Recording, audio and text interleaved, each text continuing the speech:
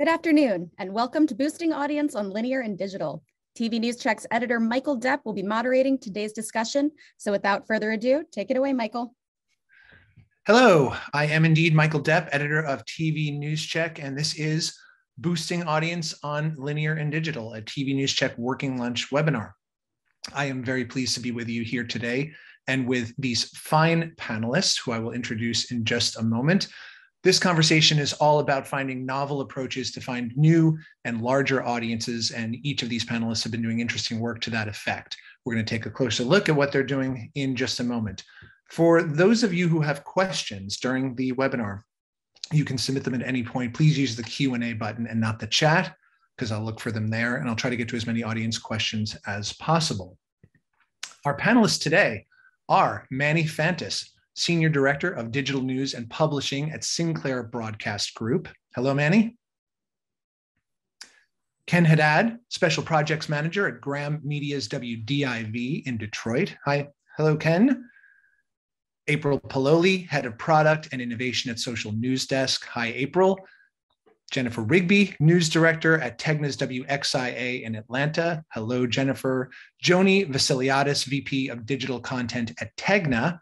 Hi, Joni, and Tim Wolf, VP of TV and Digital Publishing Innovation at Futuri. Welcome to all of you. Jennifer, I would like to start with you and the very novel approaches to uh, citizen journalism that you're doing at WXIA. You've been taking some very charged issues and putting viewers behind the wheel of the reporting process. Um, let's just look briefly at a clip of one of those here. Guess what? I'm not the one asking the questions. You are. You get to meet the experts. The number one question is How would you define critical race theory to just like a layman? Would it make white people feel guilty and black people to feel? This is very informative. So maybe come over there and hug you. Okay. I just was not familiar with that part of history. It's okay to disagree. It's not okay is that refuse to communicate civilly with each other.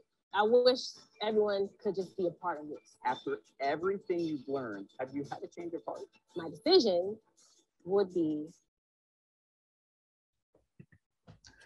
Great. So, Jennifer, can you explain what you did with these efforts and why? Yeah, that's the, that's a project called Drawing Conclusions, and we've done uh, we have done two episodes, and we're about ready to do a, two, a third one the, the why is obviously, I think all of our why, great journalism, right? Really important journalism with trust, with transparency, building trust with our audience. So we have taken some charged issues and um, we've done it in a way that takes the person who's skeptical or has a lot of questions and we put them at the forefront and had them ask the questions. And Drawing Conclusion was born actually out of a, um, a, partnership we started with Solutions Journalism Network about three years ago. And there was a grant project. And uh, as part of the grant project, our reporter, Andy Pierrotti, who's part of our um, great investigative team, was really curious about how about this vaccine hesitancy in 2019. And there's a case in Samoa where there was a measles outbreak due to disinformation. And it was sort of easy to prove because of the fact that it was on an island. And so we were um, pitching a project to take someone who was vaccine hesitant and truly take them to Samoa and to see what had happened with this measles outbreak. That was in the first uh, of 2020. We were going to go in June of 2020. So obviously that didn't happen. When the pandemic hit, we decided to re- retrofit the idea obviously with vaccine hesitancy. And um, with our market, Atlanta, and our very diverse uh, newsroom, our staff was already coming out saying, hey, there's an issue with our Black audience, with the Black community, with vaccine hesitancy. There's skepticism. They were hearing it obviously within their own circles.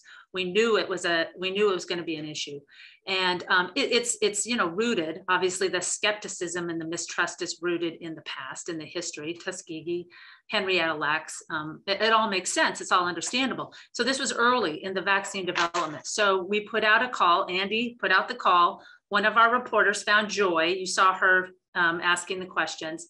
And uh, she is the one that took us on the first journey. We lined her up with experts, and she was able to ask all of the questions she had with all of these experts. So what's really been remarkable about the project is we found these people willing to do it, obviously. It's several interviews, it's a lot of time. And then we've had remarkable experts.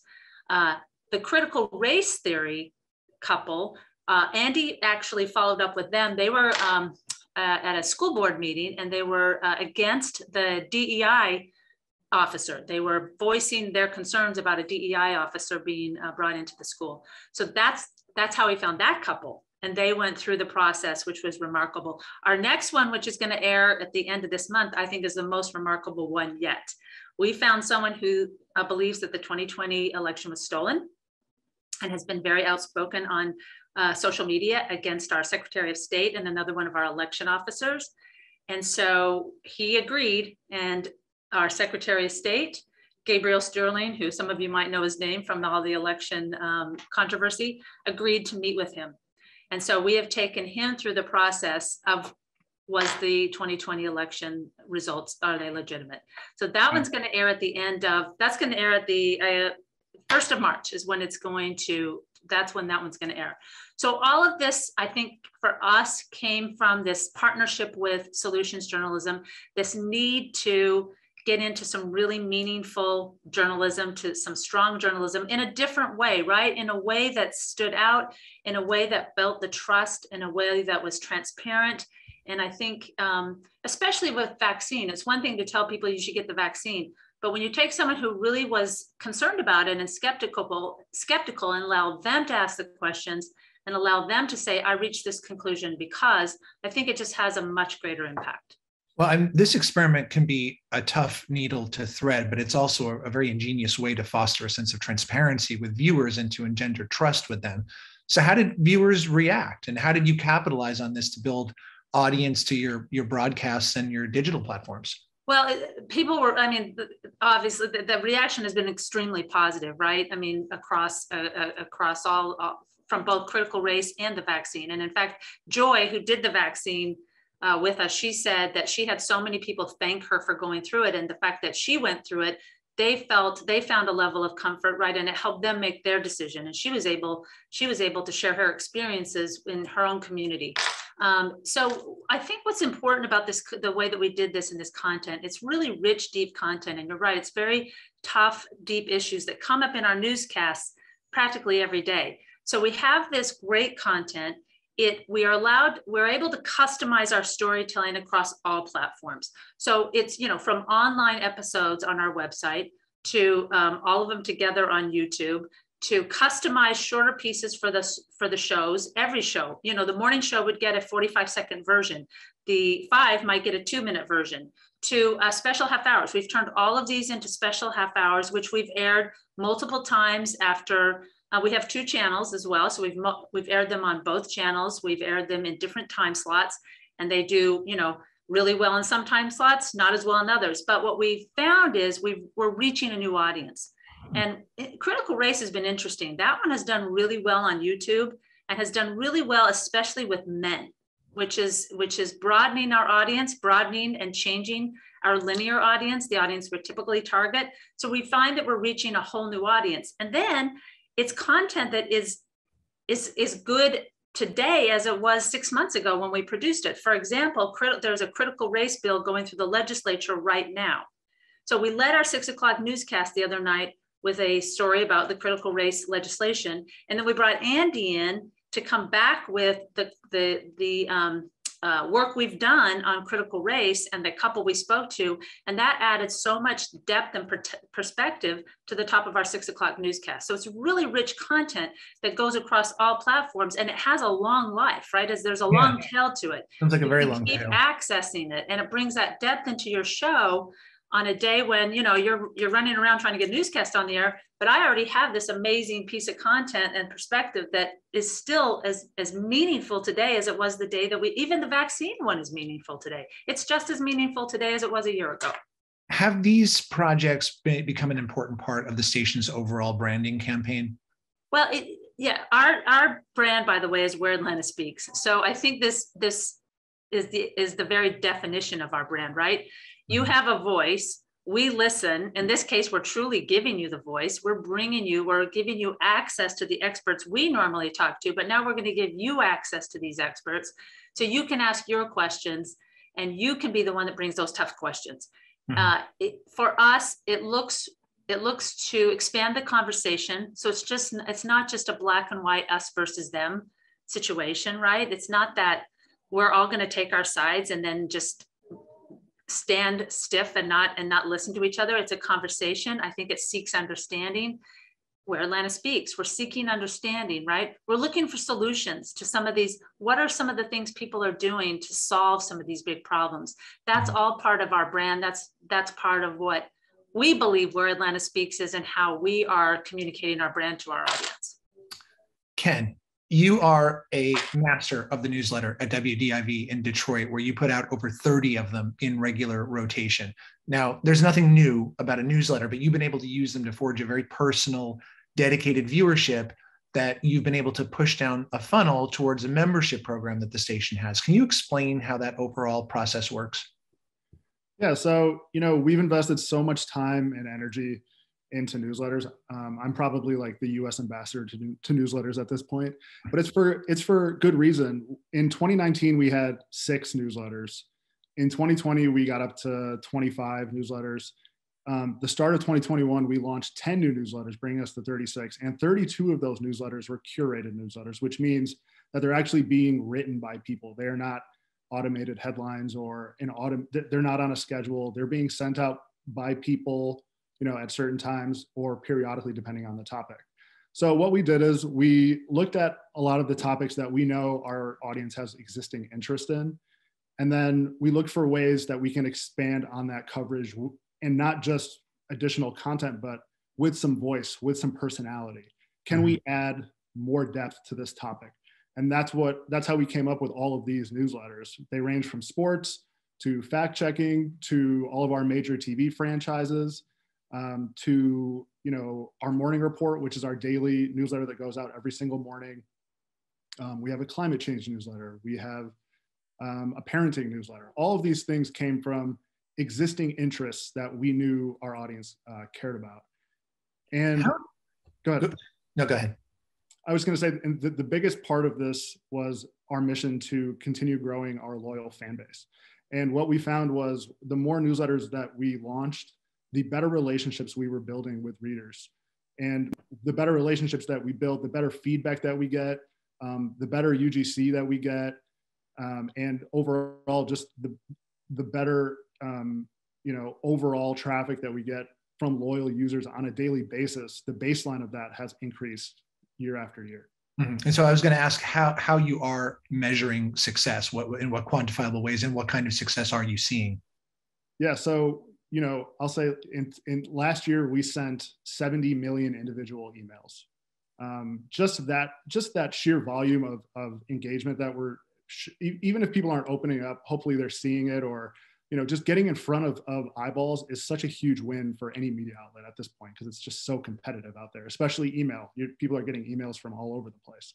Mm-hmm. Um, we don't measure emails on a you know one benchmark. We have goals for specific emails. If an email is is a uh, you know the goal is to drive traffic then we're looking at clicks. If if we're if the goal is to inform we're looking at opens uh, you know things like that. But the major measure of success for us is are we getting engagement back from our users? And most of our newsletters uh, have some sort of way that users can engage with us in a two-way conversation. And that's really been the key for us because if you're just talking in a one-way conversation, just like you would in real life, the response is not going to be great because the people don't think you're listening to them, um, and you're going to get low quality feedback from from readers. But mm-hmm. as we open that two-way conversation and they realize there's actually someone behind this newsletter and they're reading what we're sending them and they're responding, um, the quality of that response just continues to increase. And it's so much better than it was when we just used to post something on Facebook and ask for you know response on something the response that we get through newsletters because we're building that relationship over time is so much stronger than it, was when we were just doing it on social media yeah, and I just want to plug. We've done a how-to video on how to make a how to develop a great newsletter strategy with Ken Haddad, which is a sort of step by step on on what he does. Um, April, Social News Desk has a tool for driving newsletter signups, and you've worked with WDIV to roll that out. Can you explain how that works? Yeah, absolutely. Um, so what's great about the tool, um, we call it dynamic news ads or DNA for short. It's our pro proprietary technology. And what it does is it takes the great content that these stations are producing and it actually looks at signals from social and website and your website to see what people are engaging with. And it dynamically creates ads in real time based on that content. And so we call it a content to capture. Basically, we, we drag them in with that engagement with that story, that really, really great content we've been talking about today.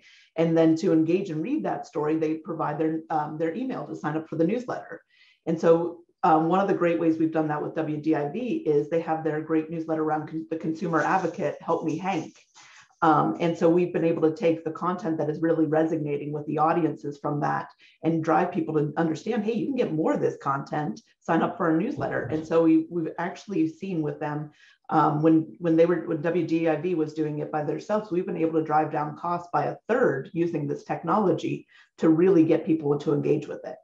Mm-hmm. mm-hmm. And Ken, a quick question from the audience. Do you have a staff dedicated to newsletter production? No, actually. So one of the keys to sustaining 36 newsletters in a newsroom is just building it into our workflow. And that took a long time to be clear, but you know, now newsletters are at the forefront of what we're doing on any story. And they used to just be a side project, which is why which is why they never really grew because we never got to them. You never actually get to your side project, as everyone knows. Mm-hmm. So when you build it into your actual workflow and you're dedicating time at the top of your content strategy and not at the bottom of your content strategy um, over time you really build that consistency and that and that flow.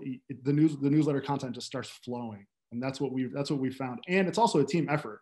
You know the digital team writes our reporters write. Everyone in the newsroom is engaged in the newsletters. It's not just one or two people. And that's also key. You really have to you know get buy-in from from everyone including on-air talent Mm-hmm. And I think it needs to be underscored that the personal element to these newsletters, that you are a presence in it, that you have direct questions that you pose. And it's simple, it's not very technologically complex. Often it's just a question you ask the audience, but it's the kind of question that solicits a very specific answer and thus meaningful engagement follows that. So I think that's a key part of its success. Um, Tim, Futuri uses AI as a driver for newsrooms to understand their entire audience in real time via data that's collected on social and in turn uses that to help grow audience. Can you explain how that works? Sure. So at Futuri, we focus our AI on helping stations understand their local audience. On the content side, we have Topic Pulse Content Advantage, which takes in data from Facebook, Twitter, Instagram, and more than 100,000 publishers. There's a screenshot of what it looks like there. Um, with all that data, we then format it in useful and actionable ways, filtering it out across categories, everything from national and political to military and lifestyle and pets for Ken's All for Pets newsletter. I think it's a great fit there. And also down to local markets and what they're engaging with. And with all that data coming in from all those places, the only way to harness that and make it useful is through artificial intelligence. Now, while we've been using AI to measure local audience engagement for over a decade, uh, our approach was really reinforced by some recent research we did. Uh, we asked hundreds of broadcast leaders uh, a range of questions about themselves and their newsrooms. Many of you may have taken part or seen that survey. One question we asked was about where their newsrooms are getting story ideas today. And the number one answer across the board was social media. So we've really focused on social, not just a tool to get our stuff out, but to really understand our audience, to figure out what is our audience engaging with what's really driving their interest in this moment as now they're watching social on their phones while they're watching on TV or watching TV on their phones while social's chiming in, really getting to understand what do they care about in a way we never could have before without this kind of data. Mm-hmm. And, and this is designed in large part to get journalists out of their newsroom bubble and their own social bubble to find audiences that they may be underserving, right? Absolutely. You know, one of the things I did in, in each of the newsrooms where I worked, I was in Dayton and Louisville and St. Louis, was go through our editorial team and say, where does everybody live? And just kind of plot that out on a map. And I think you'll find in most newsrooms to be true, most of your editorial staff lives in three or four communities that all kind of look like each other. Uh, we all tend to have the same education, similar interests. And so before social media was a problem where those stories that affected those communities where we lived or those interests tended to naturally get more attention from us. That's human, that's what we did. Social media has made that even a, a bigger thing as it's become the number one news source because what's in my social media feed is probably different than what is in somebody else's social media feed. And so we begin to unconsciously have that sort of bias towards what we happen to see and what we happen to engage in in the newsroom. So with data, we can really combat that sort of newsroom bubble. We can look at the numbers and say, this is what everybody in our community cares about, and really refocus how we channel that information that's coming in into which stories are really most important to our communities. even before social and newsrooms, I was able to take efforts like that and grow ratings significantly by forcing us to sort of track who we were talking to and where and what stories and communities we were covering. Now, with that and, and the way we can harness this from social and publications, it really helps us be able to do that in real time and get beyond our gut instincts and really into what does our community care about most. And when we do that, then we really build loyal viewership and long-time sustainable ratings growth. Well, I know I've talked to a lot of groups that are making a concerted effort to try to get out of their usual zones of coverage, literally the zip codes that they go back to again and again to try to to find audiences where they weren't looking before. Um, there's actually a question, uh, Tim, on uh, what are the numbers in your your presentation? For instance, 41 to 49 on the Atlanta fire story. What does what do those mean? Oh, so that, and I'm uh, happy to showcase this to anybody, but that's live demo information. So that's among all social users. Where's this over indexing? Is it over indexing with men or women? Uh, and what age, what age range? And you see this one, this particular slide is from a few days ago.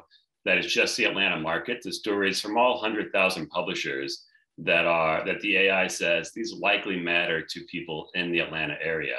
And then it just kind of gives us an indication of who's engaging with that story at a higher level than others. So that top story, men and women 26 to 34 were the ones who was index over indexing with the most. And if you went down to number six there, and you'd see talking about it's more men. And number eight, the Miranda Lambert story in the Predators, which is a little bit outside of Atlanta, um, you know, 26 to 34. So that kind of data in real time demographics does help newsrooms who are focused on which demographic are we going to win or attack today, which I know particularly, you know, we tended to, I tended to be at stations that were market leaders and we really tried to win the whole market. But at times when you're the number two or number three and you're trying to gain audience in certain ways, you might attack a certain demographic and try to grow that way. So we provide all that information just to help the newsroom make better decisions that meet their brand and meet their local community's needs.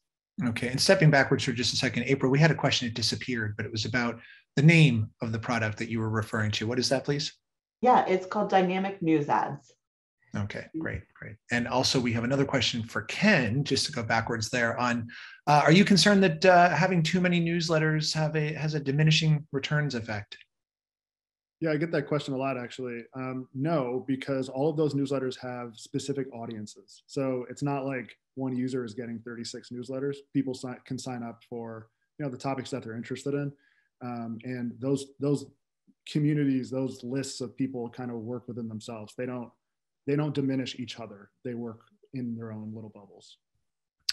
Manny like many station groups sinclair has dipped a toe into documentary production. This has become a, a more ambitious endeavor of late though.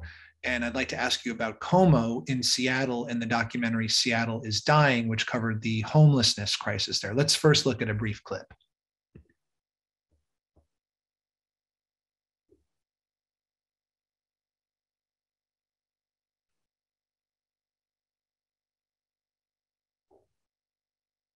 Story is about a seething, simmering anger that is now boiling over into outrage.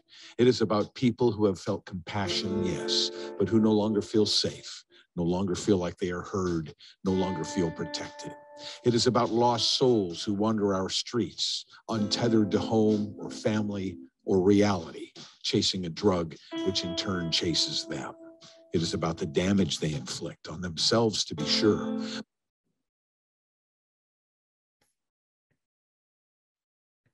Looks like okay. That's the end of the clip there. Um, so th- this became sort of a full court press to find a new non-traditional local TV audience for KOMO, and it saw iterations across linear TV, YouTube, Facebook, and STIRR, which many of you will know is uh, Sinclair's OTT network. Can you explain a bit more about the project and what your ambitions were for it? Uh, the project originated from an anchor in KOMO, and he kept covering this story. And every time he uncovered something, all the way down to government funding on how the city was handling the homeless situation. Um, it was just all these huge discoveries and this layered story that just if you watch from the beginning to the end of the coverage or it's actually still going or to the middle of the coverage you may have forgotten how we started right so the anchor was like we have enough for a movie here.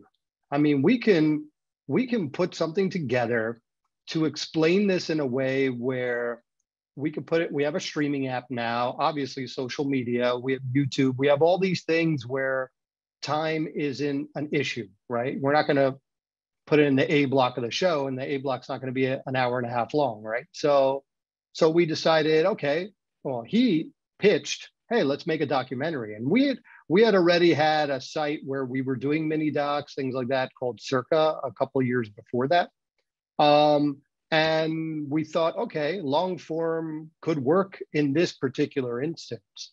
And he went for it. And when I say he went for it, I mean, just the title alone called Seattle is Dying.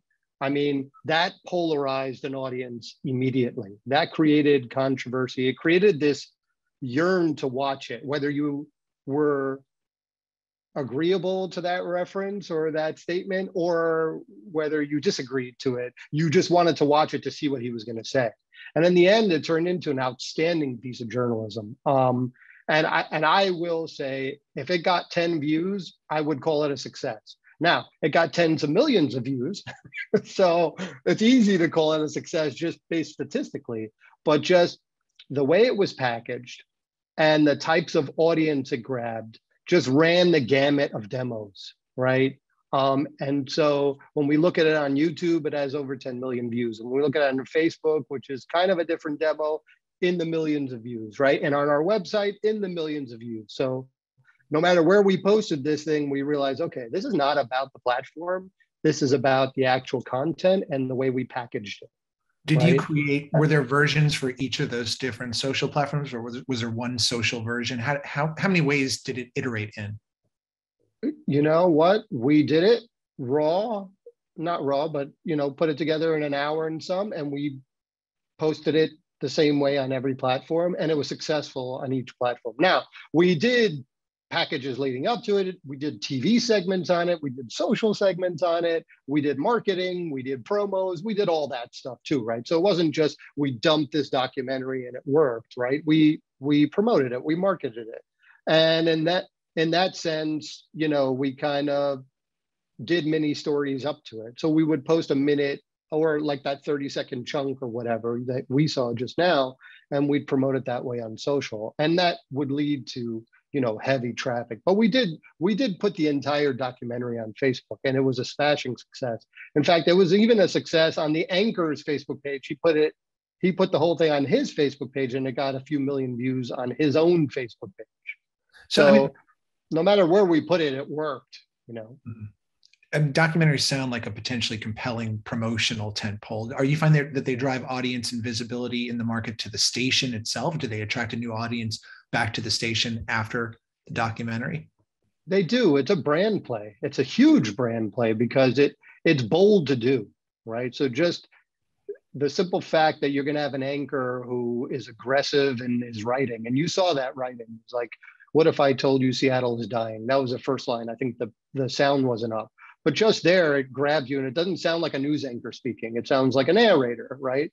But here's a news anchor who's been in the market for decades and who knows the city and loves the city. So he added the context of his own feeling into it. And that's not a normal, you know, tune in at six to watch the news. That's a different way of delivering it. And and it's a it's a huge brand play because it connects the audience with that anchor, first of all. And that anchor works for KOMO. So it connected the audience with KOMO. We saw we saw a different kind of audience coming to our platform. Like I said, whether whether they loved it or they hated it, they wanted to watch it Um, but when they saw the outstanding journalism being done and the stories that followed that, because we did stories about reactions, we did the city's reaction to it, we did all those things. So it was this whole like ecosystem that was created around the documentary too afterward. Have you uh, since tried to do this, replicate this in other Sinclair markets? We did. We did it in Columbus. It was called the Core. Uh, statistically, not the bonanza this was, but I will tell you, smashing success. It was, it was such a good piece of storytelling, and it, it's about an hour and twenty minutes long, but it's so good at capturing the opioid epidemic, um, which was, you know, Ohio was one of the places where it hit the worst and the earliest, right? So, so again, this it's just all this continuing coverage. It's this remarkable storytelling that we thought, okay, there's just so much to consume on it that we packaged it in a way where not only would we reach another audience, but we could tell the entire story in one shot too. Mm-hmm. Joni, sorry to bring you so late into this, but let's start talking about social. Um, your tactics on social media are always evolving at Tegna, as they are in most groups. Um, I'd like to ask you specifically first about Facebook and where it has evolved to at this moment in terms of being both a useful and a limiting means of engaging and expanding your audience. Where does it sit on your value chain right now? Where does it sit on my value chain? You know, not the highest, um, but maybe not for the reasons that you think. So I think fortunately we've Tegna like released ourselves from feeling frustrated if Facebook changes an algorithm. And um, so when I'm thinking about what stresses me out about Facebook, it's not really that I'm worried about referrals declining um, because years ago we decided that's not a smart strategy to have all your eggs in one basket to be dependent on one social platform's algorithm you know with facebook now the difficulties are like how can i protect our organization and protect our journalists and protect our audience from a security standpoint, harassment standpoint, misinformation standpoint. So that's like where honestly more of our time and energy when it comes to Facebook is because it is a great brand building opportunity for specifically our talent to have connection with audience, but we want them to be able to not be afraid to open their Facebook that it's going to take a toll on their mental health or their safety. So when we speak about Facebook, that's really more where we're focusing now than you know why am i not getting as much traffic as i got last year um, that we're not so worried about because we decided you know we don't want to be constantly changing our audience growth strategy like we did you know years and years ago being so dependent on facebook we wanted to make sure if they change their strategy we are diversified in how we connect with our audience we're focused on our loyalists that it's going to be okay we're going to survive we get audience in other ways um, yeah, so that's where Facebook sits with me right now. Okay. Um, in the past, YouTube has also been valuable for Tegna, perhaps more so than for other groups, especially when you were building up your Verify investigative brand. Are you still able to grow an audience via YouTube? And where is it now as a tactical tool for Tegna? Yeah, YouTube is higher on the value chain than Facebook for us. Um, you know, I didn't mention in Facebook that it was just really difficult to see the, the consistent revenue opportunity there, whereas YouTube, it's not so difficult to see. Um, but what we like about YouTube um, is that we do reach a really different audience than we're reaching on linear and on Facebook, right? So where we get more women on those platforms. We're seeing younger men consuming our YouTube audience. So we don't feel like we're cannibalizing our owned properties, um, which is nice. And one thing I really like about YouTube is that it teaches us workflows that set us up for success on other important platforms as well. How so, so? so optimizing video and doing longer form content, what a great way to be set up for streaming success. You know, expanded live streaming. What a great way. We're about to launch 24 7 streaming, um, as you've seen done by many other Asian groups. Jennifer's is going to launch in a couple weeks. So I think with all the different shiny objects in the social world, like we can learn a lot about how to be consistent in our audience growth, audience growth strategy and how to tweak our workflows in a way that um, it's not like so much whiplash, but we're building upon it. So I, I think that the work that we've done on YouTube has both gotten us new audience without cannibalizing our own, is continuing to grow, is a new revenue stream and also is setting us up for a lot of success to lean into what we do best, which is video. Um, and as many people have talked about, our journalists want more opportunities to do long form content, to go live, you know, and that opens up a new platform and sets us up really nicely for our owned streaming apps as well. I think you just broke a little news there, Joni, on the 24 uh, 7 streams. So we'll have to follow up on that and find out exactly what, when, where, and how on, on uh, Tegna's streaming product. Um, April, Social News Desk has been using a tool called, uh, relatively new tool called Carousel that originated a while back for advertisers, but now is available for newsrooms. How can this be extrapolated for news and potentially be used as an audience building tool? Yeah, absolutely. So what we've been looking at, just as as um, we were talking about, is diversification of platforms, and mostly we've been a lot focused on you know Meta and Facebook and those things. But now that we're seeing there's so much priority for these other platforms like Twitter and LinkedIn and things like that. So Twitter came to us and said, "Hey, we have that we want to roll out this product carousels organically, and you have a great user base." Um, for us to test this and see how you can play with it and use it. So we're like, we jumped on it and built a solution that integrated with Twitter so that you can actually build carousels of content and they can be video carousels, they could be single image carousels.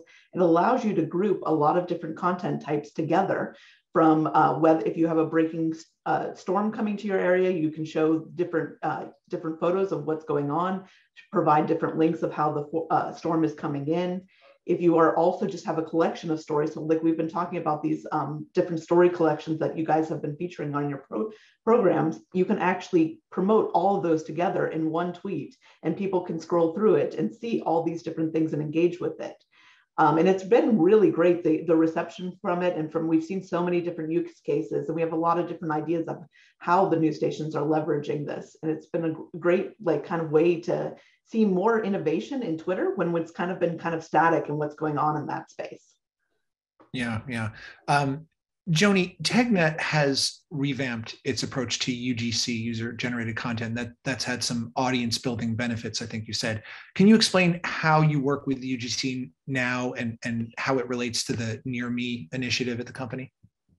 Yeah, we tried to accomplish a lot of things as we changed our approach to user generated content. I'm sure um, everyone gets a lot of patio furniture when it snows uh, on their Facebook comments and in their uh, Twitter mentions, and that still happens. Um, but we tried to create, and then you have to kind of download it and sift through all this stuff and decide what's valuable for you and make sure you have the rights. So we tried to work on a tool that would uh, solve that in a lot of ways, where we could connect mostly with our loyalists. So the people on our mobile app are really loyal to our brand.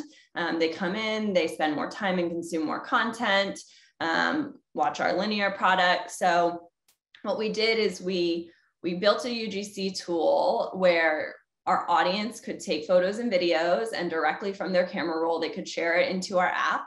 Um, once it goes into our app, it comes into our own homegrown content management system. Um, so that helps us with rights, right? Because as they're sharing it, they check a little thing that says that we can use it where we need to.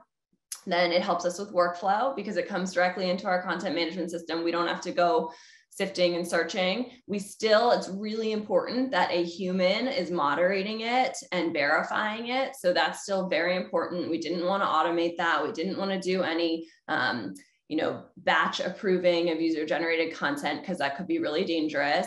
Um, so we still have that element, but once it's approved, it's into your CMS to be able to use that video or that photo wherever you want. It is not a quantity play, right? If we needed quantity, we could go on social and we could get endless, endless amounts of user generated content it's much more of a quality play to enhance our storytelling. These are people in our community with unique photos and videos and more cameras on the streets than we have. So we're looking for gems that can turn into great stories. That's not just like a winter storm photo. Now it helps, right, to get a bunch of photos in an area to paint a picture, but we've also seen some really great photos or videos that lead to follow-up interviews and full packages that go on our newscasts and on YouTube. So there's definitely like a storytelling play there. Um, and then the final component of what we call near me, which is part of our UGC tool, is that once that content gets moderated, it's, it's geotagged um, with you know where the photo or video came from. So it gets um, plotted on a, a, map on our apps called Near Me, which is to really super serve our hyper local audience or to give us coverage in areas that may be harder to get. So when Denver's covering fires two to three hours away from their station, they get a lot of great fire photo and video that can tell a story on a map um, where people can go to and see, you know, what's going on in this community, um, which would have taken them a really long time to get out and to send a crew. So there's workflow, there's rights management, there's storytelling ideas, um, and then once again, just like trying to grow our loyal audience and give them a product that's maybe unique that they can't get in other places, make them feel a part of our news team. Yeah. First, I don't want to knock snow photos because I'm in the deep south and that's how I live vicariously through winter. So let's back off on that a little bit. Okay, sorry. And and secondly, um, how vis-a-vis audience growth and development, how are you measuring success with this initiative, and what kind of success would you say you've had so far with it?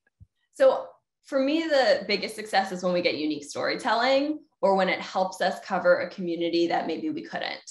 Um, so I we do track, you know, how many submissions we get um, for both photos and videos, and how much of that gets approved, and, and those are some great numbers, especially during breaking news and weather. But the true success here is unique storytelling and ex- and expanded coverage in places that we couldn't get, and expanded points of view. Mm-hmm. I want to, I have plenty more questions, but I want to take some from the audience right now because we're getting some good ones here. And so they're a bit all over the map to individuals. Um, Melissa Luck asks, uh, Ken, would love to hear more about the newsletter to membership path from WDIV. Uh, DIV. Can you explain a little bit more that that funnel journey? Yeah, sure. So we always look at you know the levels of um, audience and where they're coming from and where we want them to go. Um, this you know this for instance, people coming from social are probably near the top of the funnel, which is the biggest. Um, search also at the top of the funnel. And then when those people are coming in, um, you know, getting them to sign up for newsletters is a huge part of, of moving them through the funnel. So we have a, uh, you know, a big initiative promoting newsletters inside of articles. Um, we have a bunch of new tools that are driving opt-ins um, from people that are visiting our site, um, you know, a certain amount of time. And then the funnel to membership is still hard to measure, quite frankly, but we see it because the the better relationships that we build with with people through those newsletters, the more likely they are to funnel into our membership program. And we already know that a ton of people that sign up for our newsletters are also our insiders. And we actually have some research that shows that um, the, most people that find out about the insider program are email subscribers um, rather than TV watchers or people that are using our website. So well, that's, a, that's a huge thing for us. Related to that, we also have a question about promotion. Are you promoting them on broadcast and uh, digital platforms and any group targeting promotion? Yeah, we have promos running pretty regularly. Um, our talent are constantly pushing to the newsletters. Our franchises usually tag out with, you know, sign up for the newsletter, something like that. And then we are constantly promoting inside of articles, like I said, and then the social news desk uh, Facebook uh, campaign was really, really helpful for us to, to find some new audience um, instead of trying to convince our existing audiences uh, to sign up. And, and, and those in the audience sending questions, please put them in the Q&A. You're fragmenting my attention span. Um, Ken, do you have an agreed uh, upon amount of time that the news team works on newsletters every day? No, uh, it really just depends on the frequency of the newsletter, who's work, who's writing the newsletter, um, setting those expectations, and making sure they're at the their priority. And again, that just goes back to having that full newsroom buy-in on the priority of newsletters. And once once you get that, um, after after a certain amount of time, people kind of get it. Uh, Jennifer, a couple questions for you. How do you go about sourcing the interviewers for the interview series? And that's such a, an important part of it, right? And and Andy would would say he talked to a lot of people and and it goes through a process to find i think the right person that that participates in this. Um, i told you joy came to us uh, really from one of our reporters who had talked to her and knew her. And so that that's how we found joy. And then uh, andy followed up from a school board meeting and and and spoke with this couple who spoke up at the school board meeting. And I think for this last one, the, the fact that we have two that we can show, um, I, I, see the question, uh, you know, was it hard to earn their trust? yeah, I mean, that's part of the process is, is you have to be very transparent about what the process is going to look like and feel like.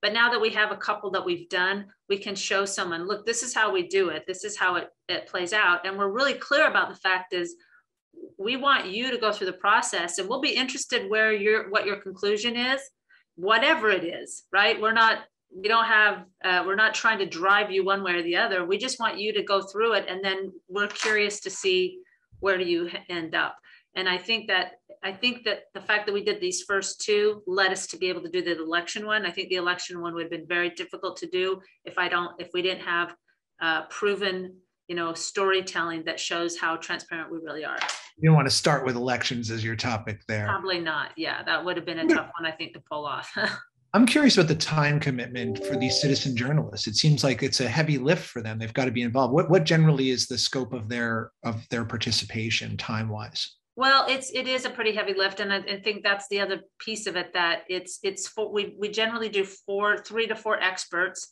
um, and so the interviews are you know 20 minutes, half hour. I think one even went longer than that. So um, it's it, it is the um, and they're not Zoom, they're in person.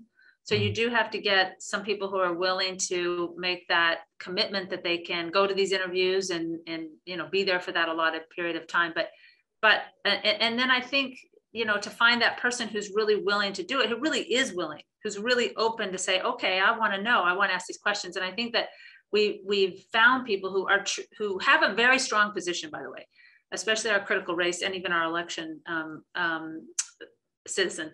They have strong feelings or strong opinions. And they were also willing but they also had a lot of questions and they wanted to they wanted to ask their own questions. So you have to have that piece of it. You can't have somebody who's so closed off they don't want to hear anything else but they right. did want to have they wanted to ask. And in fact in the critical race theory the woman said you know it, it's it's I, I realized i was taking so much from social media and what friends were telling me. And it and it was not accurate right? I wasn't getting the a full picture. And so it was important that i went through this process and that you really dig into something like this. In, in terms of replicating this you you have you say you're about to do your third one. Obviously mm-hmm. they're very labor intensive but can, are you going to be able to amp up the frequency of pieces like this on more issues yeah, I think so. I think that there's been a learning process, right? The first one, uh, especially, we learned so much from the first one, and you know that that is the one of the bigger questions. How many can we do? How can you scale it? How can we take the same idea and spread it through more storytelling? You know, so it's it's those are all the the issues that and the questions we have and that we're working on. But the the, the Andy, who's who's the key person behind it, is is learning how to turn these around. You know, he's turned this last one around, frankly, more quickly than I thought he would so mm-hmm. he's he's figuring it out and and getting a system down that I think is getting uh, allowing us to to turn these a lot more quickly. We were we already have a couple of ideas what our next project and topics. There's no shortage of topics, right? So we we had fun to talk about the topics and what would we think will be next. Yeah, and of course you get better every time you do it and yeah. Um, Manny, quick question for you. Were you able to generate revenue from the Facebook posting of Seattle is dying at all? Probably not. Yeah, yeah, we were, especially, you know, when things are longer than three minutes on Facebook, they generate considerable revenue when the views go into the 1000000s mm-hmm. So this was like an hour or some long and it was in the tens of millions of views. So you can imagine it created it, it made us a pretty penny on that revenue side. It made us some revenue on YouTube, made us a lot on our own websites too. You know, we really we try to diversify that number, not just worry about Facebook revenue. Like Joni was saying earlier, we don't want to put all our eggs in that basket. Especially mm-hmm. Facebook has a lot of control over how much that basket is. So they take eggs and move them around. It's not only your egg, you're sharing your egg with Facebook. Well, that, that tees up my next question, which is generally speaking, are any of you among the broadcasters able to throttle back a bit from your efforts on social at this point to concentrate your efforts instead on audience building work on your own platforms? Or is basically social in toto uh, as important as it ever was for you? And anybody can jump in on that. Well, I'll start with that one. Facebook, I think we misused at first. I will say that about broadcasters. We went all in we were giving away the farm, as we like to say here in this company. And we were so aggressive with it that we didn't care because it was one to one, right? If you had 10,000 Facebook likes, all 10,000 people saw that post. right? Mm-hmm. So as Facebook changed its business strategy and and you know broadcast TV is not the biggest part of Facebook's strategy, so they really don't prioritize us. Uh, we had to start prioritizing ourselves, right? So the moment we started looking at it, okay, this is a tool, not the whole thing, right? That's when we kind of throttled it back and like we've talked about earlier in this call and we always talk about at work is you know diversity is put you know use every audience and use every tool for the strength it has don't don't put it all in one place and don't go all in on especially a third party you know you got to focus on your own thing for good i you know I, I told you this on the phone the other day you know google to us YouTube, Google is just as important as anything else, but it's still a tool. It's not our platform, right? Our platform comes first. In fact, you were saying that SEO has become increasingly important. You know, it started super important and then social kind of dragged it out. Mm-hmm. And now we're back there again, right? Everything so, old new again. Yeah, yeah, yeah. Okay. I was going to say that we we really emphasize search, and I think that helped as opposed to de-emphasizing social or what, but we really put a pretty decent strategy in for search. And I think that helped us diversify. I totally agree with everything Manny said about diversifying. Do we have general agreement on this point? I would say the one thing I'd add to this is like this is what really our dynamic news ads product does is it takes Facebook and it takes social and it takes them to your owned and owned O and O properties. So it drives your newsletter signups, your app downloads, all those things because if you're going to spend money to get audience engaged you want to with your audience not to buy likes on facebook or just to get engagement on it. So we want to make sure you at the end of the day have control that relationship and that conversation. Right right. Absolutely. Um, for for each of the broadcasters here how much has audience building on your streaming platforms become a priority for you and what are you doing specifically to to draw viewers there. And I know everybody Tegna is about to have a new announcement, it seems, uh, imminently, but, but but you do have streaming right now anyway. You're on represent on different platforms, and of course, you've got STIRR and WDIV has been on streaming for pretty much as long as streaming has been streaming. So, um, what are you doing specifically for that platform? Manny, you want to take that first because of STIRR? Sure. Yeah. Um, you know, specifically, we keep growing the business. You know, um, we we own tennis channel we own a bunch of local newsrooms uh, we have a lot of video and a lot of content right so the streaming platform is a natural place for a lot of this stuff to go um, we mentioned documentaries already. Those could be hour half hour chunks on a streaming platform. Um, but it always gets down to diversity of content not just one thing right? How do we promote it? We promote it on our air, we promote it on our social media.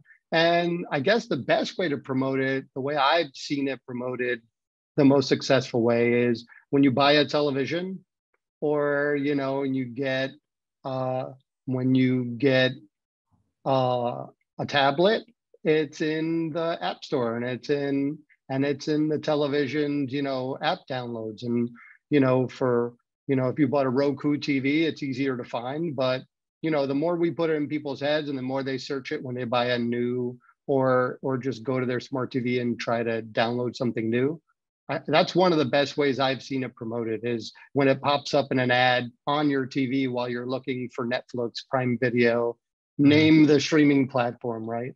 Um, and then we offer that thing where you can watch our local news, right? Which not a lot of other streaming platforms offer. Mm-hmm. Ken, has has it been a priority to to concentrate again on WDIV's streaming presence? Yeah, just over the last couple of years, especially, and then this year, it's a huge priority for us. We just launched a uh, 10 p.m. Um, streaming only newscast, um, and uh, we've been doing our four o'clock newscast because of the Olympics, uh, also on the app. So we have been during the Olympics, we've been really, really pushing uh, Local Four Plus. Um, and then you know we've had some we've had some plans pre-COVID to to really dive into uh, exclusive programming um, for that, which which we'll pick up again probably this year. But yeah, for sure, it's a, it's a it's one of the key priorities for us in 2022.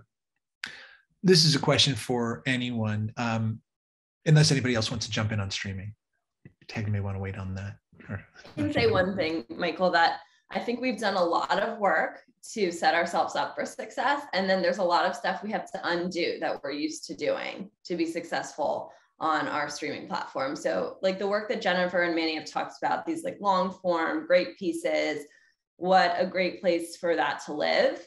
Um, we also all cut a bunch of short clips for our website. What a horrible place for that to live, you know? So we have to be really smart about understanding when we we're putting a lot of energy into streaming but we need to really understand like what is the audience experience when they're trying to find us on roku or fire tv or apple tv or wherever um, that if we treat it like we treated our websites at the very beginning of our websites where we just dumped off on our broadcast content and now we're just going to try to take our website content and put it on streaming we're not really going to have people sticking with us for a very long time you mm-hmm. know so where why are they coming to watch us? They do like to watch our local news. They might like to watch that time shifted. They you know we have great long form content. And so um, i think like whenever we're launching a new tool i think a lot about like our workflow as well and things that we need to do to set up the best product. So um, like i mentioned before like we've been building a 24 7 tool directly into our cms so that we can give total programming control um, to our stations to really be smart about how they program their feed and also to be really flexible as news breaks and things change.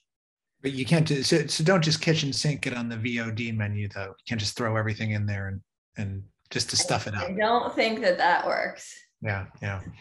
Um, for anybody here, do do your companies or stations set goals each year for expanding audience on linear streaming and other digital platforms? And if so, what kind of gains are you looking for, or in terms of uh, percentage terms, or or are you simply just looking to avoid declines? Okay, we set goals because goals shape behavior, you yes. know. So we reevaluate our our KPIs and we say, you know, is this are we measuring the things that are important to us? And you know if we're going to make a change to a kpi we need to be really thoughtful about it um, because we know it's going to shape behavior on what we do. Um, i think that if we're just looking for are we up or are we down that's not sophisticated enough um, because if an algorithm changes or if audience is shifting to more streaming then you could be up without doing a lot of work right? So you have to look, you know, something about the beauty of a group like Sinclair or Tegna is that you have a lot of stations where you can look at similar markets and similar sizes and you can say like how are you trending as compared to other people in a similar situation because if everybody's growing you know 20% i'm just making this up um, if you're growing 5% that's not a success, right? But if you're going 70%, that's a huge success. Mm-hmm. What about? I, oh, I was just going to say, I, I, agree. You know, we definitely set goals so that we're moving forward. Um, but we are constantly changing those goals around depending on, you know, what, what we're learning because a lot of the stuff that we're setting goals on are, are in new territory. Um, and then, you know, for instance, our insider program we could grow it 20,000, 30,000. You know, if we, if we really wanted to, we could probably blow it up with, with signups on with contests or, you know, anything like that to just kind of get that volume up. But the key, the key points that we're looking at are how many people are coming back, how many people are logged into our website, how many people are engaging with us. Those are the key things that we're looking at on a daily basis and that we value a lot more than the, the big volume KPIs. Yeah, and that's where I, that's where I was going to go at the end to that question. Growth is great, the year of the pandemic, we saw, you know, March 2020, we saw numbers spike through things we had never seen before, records broken, right? And then 2021 comes, and then we have to do year over year, and we're like, oh my goodness, are we failing? No, we're not failing. It's just a different time and a different, you know, era. And an unprecedented era uh, isn't sustainable growth, right? So we look at sustainability. So um, just like Ken said, it's the value of the growth. It's not just the raw number. Because I guarantee you, if you just did recall stories, stimulus check stories, you would grow through the roof. Period. You could just make a website on recalls and stimulus. Are you going to get your stimulus check?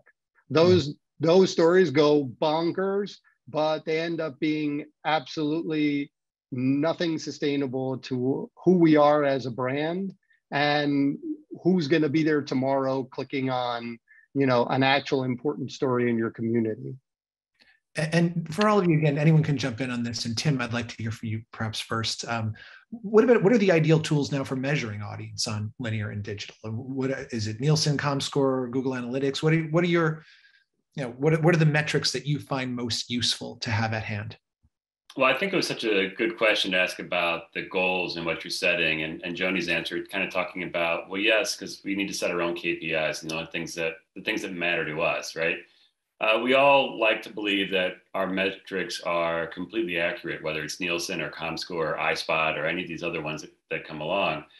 And we've had a lot of consternation in our industry talking about, well, we're moving from you know these transactional sales based off ratings to impressions and eyeballs and that's a big changeover. But ideally, as data helps us get there, we can finally get to a point where we're not estimating who's watching our, our products. And there are so many different ones out there, you know, but if I can tell you that a viewer on digital, I know a lot more about that person traditionally than I do on television. As ATSC 3.0 comes into full effect, and as we have new measurement standards in companies, we'll do a much better job of being able to measure our whole audience and really be able to tell who's watching our products and then of course sell that uh, sell our products in a way that is better for advertisers. Um, but i think the key point through all that is whatever we set up as our most important measurement system has to be based on who we are as a brand. What are we trying to accomplish in our communities? If i'm a local station and i want long-term sustainable growth I want good measurement, but I need that measurement to be set up for what is my community talking about? What is my community interested in? And I think the biggest challenge I see in some of the newsrooms that, that I work with is, you know, they'll have high quality newscasts that completely miss the conversations that are going on in their communities.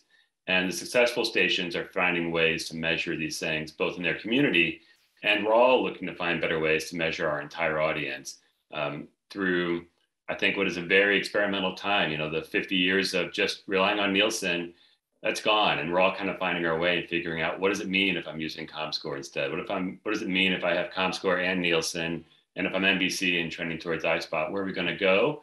What's that going to mean for our sales teams? This is a really important question to, to figure out and see where we go right now.